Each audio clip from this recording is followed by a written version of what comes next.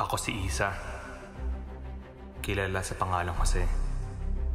Isang Pilipino na may dugong Arabo. Pinanganak na Muslim, ngunit pusong Kristiyano. في رمضان رافقنا في رحلة البحث عن شاب تائه بين عالمين وثقافتين ولغتين الرواية الحائزة على جائزة البوكر العربية لعام 2013 ساق البامبو في رمضان على تلفزيون دبي.